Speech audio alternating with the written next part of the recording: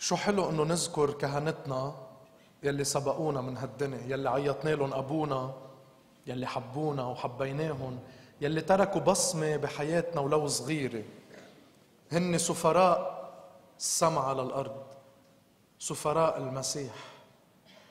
مش مش من أجل هيك رفعة أو لقب بميزهم بدون الدور يلي بيلعبوه ابدا. لما بتحضروا رسامة كاهن بتشوفوا إنه بالصلاة بيقولوا يؤخذ من الشعب من بيناتكم منكم من تربيتكم من مجتمعكم من أفكاركم من إيمانكم من بيتكم. الصغير يؤخذ من الشعب ويفرز لخدمة الشعب. هيدا بالكهنوت. ولكن فيكم تشوفوا هذا الشيء بكل الحياة. دائما كل القصص اللي بتعملوها حدا يؤخذ من الشعب لخدمة الشعب. من هيك تنصلي للكاهن ضروري نعرف ما هو الكاهن. يعني شو هو هالكاهن؟ ليش اليوم صار يعني سوري على الكلمة عن نتفي بصحصح له إنه يابا أنا مثلي مثلك تعال لك. ليش بطلنا نعرف قيمة الكهنوت اللي بيحملوا هالكاهن؟ في كتير أجوبة وهلأ يمكن براسكم عم بدور أجوبة. بس أنا ما بدي الأجوبة ليش؟ أنا بدي شو اللي انفقد لو وصلنا لهذا المحل. شو اللي ضاع؟ شو اللي تشوه؟ حتى وصلنا لهون. تقلكم من هو الكاهن. الكاهن هو يد وامتداد للأسقف. ومن هو الأسقف؟ هو خليفة الرسل.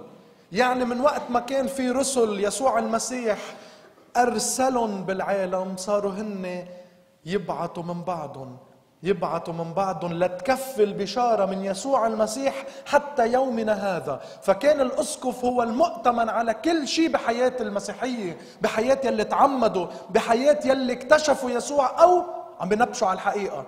عندهم الأسقف لأنه هو المرجعية.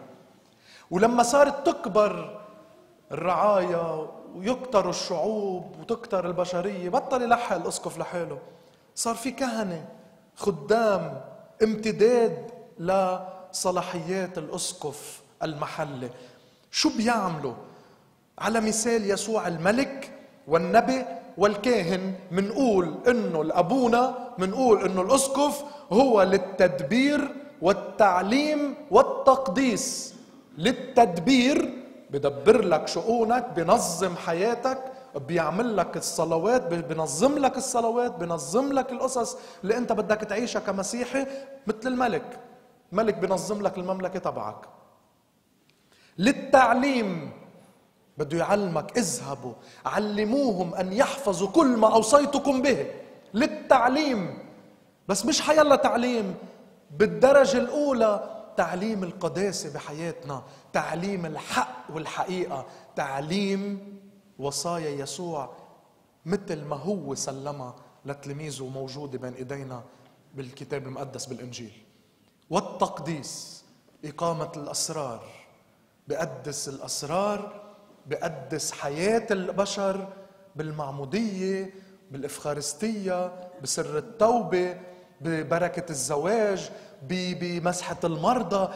حاضر بهالمفارق بالحياة الأساسية المهمة بحياتنا حاضر لحتى يقدسها للتقديس. فإذا هو ملك هو نبي بيعلمنا قلنا شو الصح وشو الغلط وهو كاهن يقدس. ليش بدي أحترمه؟ ليش كانوا من زمان يبوسوا إيد الكاهن بس يشوفوه؟ مش عم نقول لازم تبوسوا لنا إيدينا. ما بنحب أصلا لهالشغلة. بس ليش؟ ليش كانوا ينحنوا قدامه؟ ليش كانوا يقوموا يقعدوه مطرحه؟ منو هو؟ منو الكاهن؟ اليوم منوقف عند هيدي الجملة منو هو؟ شو عنده أحسن مني؟ ما مثلي مثله. كثير منيح بس ما بتخلص هون القصة. ما كلنا مثل بعضنا. ما بيك وأمك مثلك كمان عندهم جسم وعينان وايدان ولحم. بس بتحترمهم. ما الرجل الكبير بالسن والختيار إن مثلك مثله بس بتحترم تاريخه. بتحترم شو بيحمل بهذا التاريخ. بتحترم تعب الحياة اللي موجودة بجسمه بتجاعيده بانحناء ظهره وبجسده الركيك من هيك بتقوم بتقعده. بتحترم تاريخ. ما بتحترم بس شخص. بتحترم تاريخ. هودي كلهم فقدناهم. والجيل الجديد بعده عم يفقدهم أكثر وأكثر ونحن مذنبين بهذا الموضوع لأنه نحن ما بنعملهم. نحن الأهل صرنا هيك من ربي أولادنا. ما في أحسن منك ما في مثلك. ما في حدا قدكم اعملوا اللي بدكم إياه. اللي بدكم إياه. بتقولوه. تتصرفوا مثل ما أنتم بدكم. ما بقى في احترام ما بقى في ولا شيء.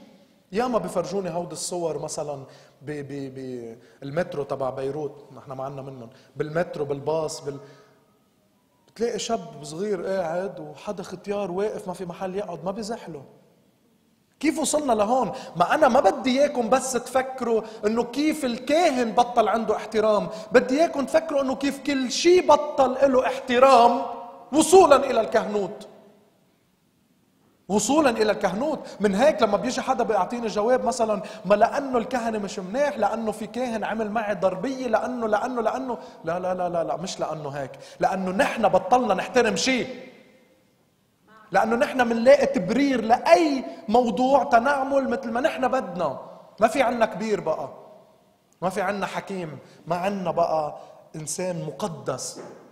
أو يحمل الله بين إيديه يحمل الأسرار. هود الميرون بنزقف له بنبوس الميرون بإيديه وبعدين بنبلش نصحصح له.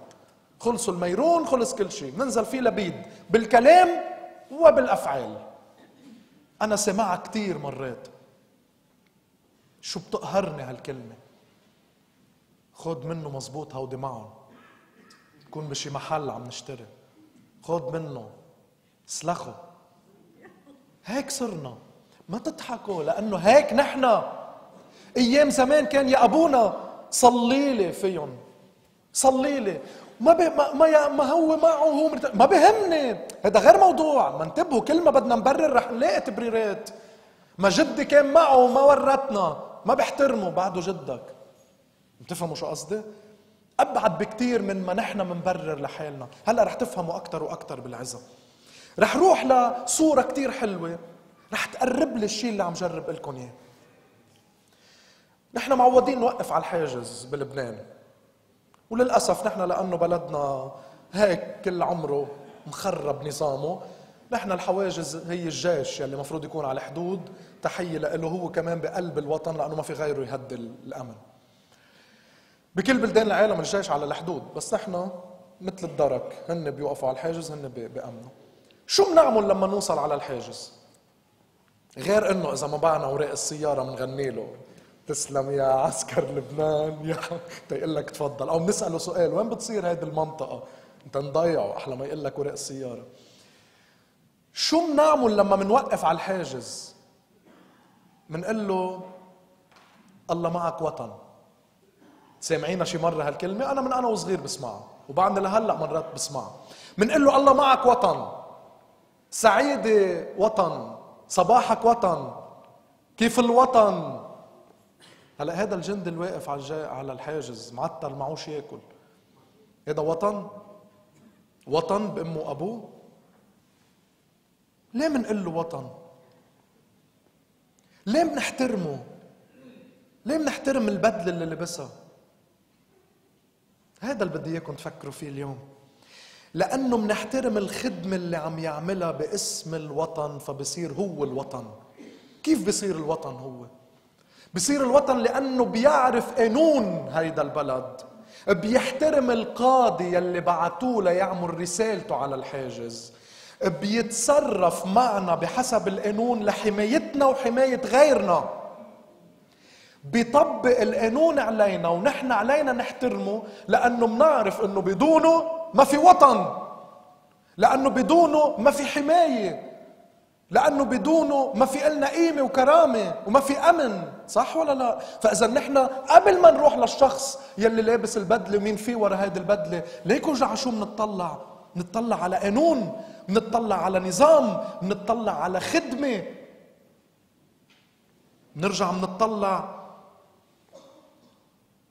على صورة وطن ممثلة بشخص اسمه جندي على الحاجز ومنوقف ونضرب له التحية بنقول له تحية وطن بصير وطن. الأبونا نفس الشيء. بعيط له أبونا بيي. بصير هو الله؟ لا. بصير هو البي السماوي؟ لا. بعيط له أبونا لقل له الخدمة يلي لازم يعملها بملكوت الله. تا اذا وقفني هالابونا على حاجز الملكوت قل له تسلم يا ملكوت. تحية لك يا ملكوت. لأنك تحمل كلمة الله لأنك تبشر بالإنجيل. لأنك عارف شو نحن بحاجة بهيدي الدنيا وعارف تحمينا وتفدينا بتعبك وبشغلك وبحضورك وبتضحياتك. الجندي على الحاجز يحفظ القانون. أول شيء والكاهن يحفظ تعاليم المسيح. بيحملهم وبده ينقلهم. الجندي على الحاجز يطبق القانون وكذلك الأمر الكاهن يطبق ما أوصانا به المسيح في التقديس والتعليم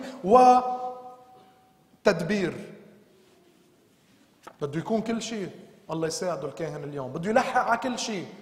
بده يكون بيعرف بكل العلوم بكل الثقافات بكل القضايا بده يكون قاضي ليحكم بمواضيع بده يكون عالم نفس تيميز المشاكل النفسية من المشاكل الروحية بده يكون أستاذ ومعلم بده يكون رئيس وممثل عنا وبده يكون كاهن كمان وبده يكون بي وبده يكون أم ومرات بده يكون طفل بده يتحمل الكل بده يكون كل شيء كل شيء.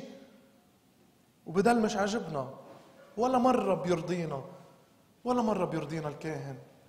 لأنه راسنا اليوم العالم أولبه ليصير بمطرح تاني. مثل كمان ولا جندي رح يرضينا.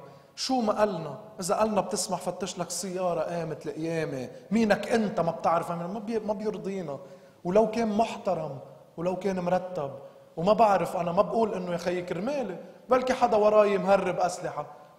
بقبل أنا عيط عليه واقعد شارعه وما بعرف شو يقول عمره ما يكون يقطع ثلاث أربع سيارات بيناتهم قنبله عم بعطي مثل سخيف بس هيك الدنيا بتمشي ببلش من أمور صغيرة وبتفلش.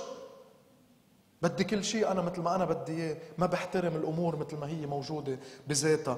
بدك تحترمه مش لشخصه. مين هو الجندي؟ ما بعرفه أنا. ما بعرفه بس بحترمه. مين هو الكاهن؟ ما بعرفه. ما بعرفه شخصيا. بس بحترم كل كلمة عم بقول لي إياها. بحترم شو بيحمل بتاريخ كنيسته لأنه قدرته وقوته وسلطانه مش منه. من من أرسله. مثل الجندي نفس الشيء مثل السفير نفس الشيء. لا بيحترموا السفراء بالبلدان؟ شو بيحمل السفير بس يروح على غير بلد؟ بيحمل أفكار بلده بيحمل قوانين بلده وبيحمل كل شعارات بلده تينقلها لهذا البلد اللي هو فيه. بيحترموه بيستقبلوه مش لإله مش لشخصه. لشو يمثل وماذا يحمل. وبيضحي الجندي بذاته وياما في جنود اليوم كمان نذكرهم ماتوا. ماتوا على الحاجز. قوصوهم. تعدوا عليهم. فجروا حالهم فيهم. فشوا خلقهم فيهم. ليه منو هذا على الحاجز المعطر؟ هو رسالة للوطن. فجروه تنبعت رسالة للوطن. اقتلوه تنبعت رسالة للوطن ونفس الشيء الكهنة. شهروا فيهم. قتلون بكلامكم اقتلون فجروا حالكم فيهم. فجروا المجتمع بكلام عنهم قاسي. تنوصل رسالة للملكوت إنه ما فيك تكون بيناتنا. ما إلك مطرح بيناتنا. يا بدك تشبهنا يا الله يا إما ما إلك مطرح بيناتنا. نفس الشيء. بيحكي باسم الوطن. والكاهن بيحكي باسم الجماعة الكنسية الوحدة الموحدة. مثل ما أنا بحكي هون في واحد بال بال بالهونولولو عم بيحكي ذات الشيء. في واحد بأفريقيا عم يحكي ذات الشيء. بكل بلد بالعالم شو ما كانت لغته عم بيحكي نفس الوصية نفس الكتاب نفس يسوع المسيح لأننا سفراء المسيح. سفراء المسيح. بعد ما وصلنا للمشكلة. شو المشكلة اليوم؟ بيقول يسوع بمتى 23 3 مع إنه بيكون عم بيحكي عن الفريسيين فبدنا نميز شوي. بيقول اسمعوا كلامهم ولا تفعلوا أفعالهم. هلا نحن لقطينا ويلا. جلد ما يسوع قالها يسوع كان عم بيحكي مش عن الكهنة اليوم كان عم بيحكي عن وقتهم. قال لهم يحملونكم تعاليم وأثقال وما بعرف شو هن ما بيحملوها. نحن هي مش موجودة. عنا. نحن عنا بس وصايا يسوع هو حملنا إياها. مش قاعدين عم نزيد عليها نحن من راسنا. فاذا يا جماعة اسمعوا كلامهم ولا تفعلوا أفعالهم. عم بيقول الشيء اللي شرحت لكم إياه قبل يسوع المسيح. مجبور تسمع كلامه مجبور تحترمه مجبور توقف على الحاجز مجبور تضرب له التحية احتراما لما يمثل. بس مش ضروري تعمل أفعاله. هون السؤال الكبير. شو أفعاله؟ خلينا نروح على حياة شي جندي من هالجنود اللي على الحاجز. يمكن مطلق. يمكن نازل خبيط بولاده كل يوم. يمكن سارق جاره. يمكن عامل مئة ألف مشكلة. أنت ما إلك بحياته. أنت على الحاجز إلك بالدور اللي عم يلعبه. أنت على الحاجز إلك بالخدمة يلي عم بيقوم فيها. وبدك تحترمها من أجل الوطن. شو مشكلتنا اليوم مع الكهنة؟ إنه فتنا كتير بحياتهم. فتنا كتير بحياتهم الشخصية. وربطنا حياتهم الشخصية بما يقولون. وربطنا أفعالهم بما يعلمون. فصار كل شيء مشربك براسنا. ما بقى في شيء واضح. وبطل في احترام للكاهن. مع إنه أكثر أبونا يمكن زعوري إذا بتقعد عنده بكرسة الاعتراف وبتعترف بده يعطيك النصيحة يلي معلمة من الإنجيل وما بيقدر إلا يعطيك هيدي النصيحة. بس أنت شو؟ تعرف أخباره. وهود اخباره هن اللي عم بشوشوا لك على حقيقة خدمته. برجع لأول كلمة بلشت لكم فيها. مفروز من الناس لخدمة الناس. أنتوا عم بتردوه بيناتكم. صار يرجع يشبهكم بكل شيء بأخباره بأفعاله بالأحاديث اللي بتفتحوها عنه. بالتشهير فيه مثلكم مثله. نسيتوا الخدمة اللي عم بيقوم فيها. من هيك إذا بدنا نفكر بهذا المنطق ما بقى في كبير بالحياة ولا في ختيار ولا في حدا فينا نحترمه لأنه كلهم عندهم أخبارهم. ما توقف على الحاجز لأنه عنده أخباره الجندي. ما تحترم السفير لما يروح على بلد تاني ليحمل اسم الوطن لأنه منعرف حي... منعرف شو عامل هو صغير ومنعرف كيف بيتصرف. ما تحترم حدا. هيك الجيل الجديد ماشي. ومن هيك فقد الكهنوت قيمته لأنه فقد دوره الجوهري بالخدمة التقديس والتدبير وصار حديث العالم على الرايح وعلى الجاية بأمور سافهة أرضية مادية. نحن بنحكيها بين بعضنا صرنا بنحكيها عن الكاهن بذات الطريقة. نحن منتخانق بين بعضنا على الأراضي ومنتخانق مع أهلنا وإذا بيموت البي ومخانقين على الأرض بينفصلوا الإخوة للأبد وبيحكوا ذات اللغة عن الكنيسة. خليها تبيع أراضيها خليها كذا خلي كذا. نفس اللغة اللي بنستعملها ببيوتنا صرنا عم نستعملها مع كهنتنا وضاع الجوهر. ضاع الجوهر.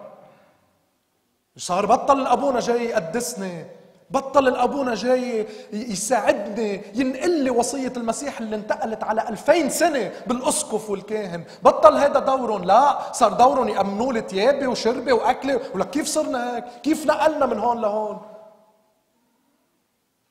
لازم نرجع نوعى يا جماعة. عم نصلي لهم لهالكهنة بس لازم نوعى اليوم على هالكهنة. في كهنة بتغلط. إيه؟ في كهنة أنا ما بدي أسمع لها. معكم حق. تعرفوا مين هن؟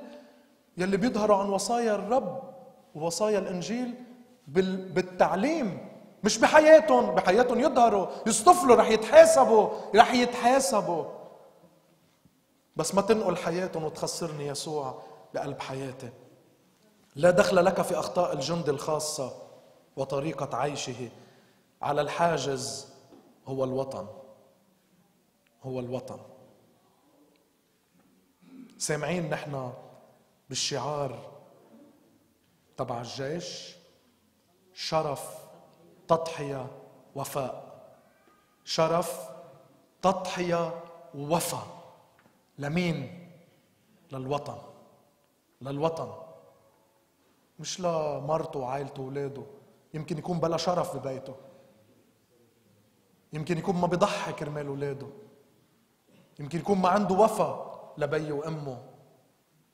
بس على الحاجز للوطن هو شرف تضحية وفاء. غصب عني. مثل الكاهن غصب عني. غصب عني وإلا روح اترك هالثوب وفل. بدي اكون شريف وبدي ضحي وبدي اكون وفي لكلمة يسوع.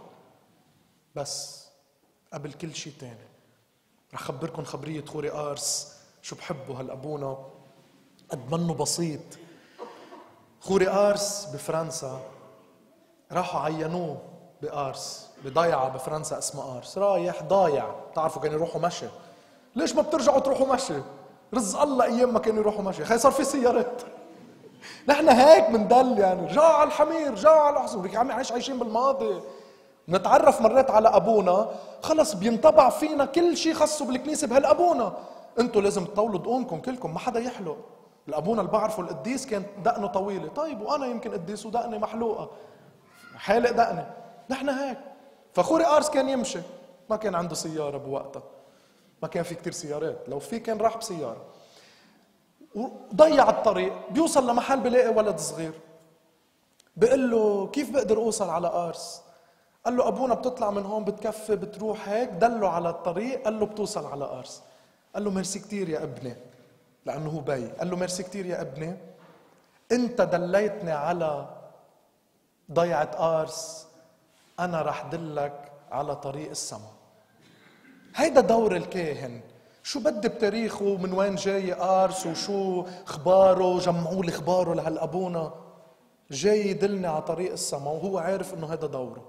عارف إنه هذا دوره. قال له دليتني على آرس.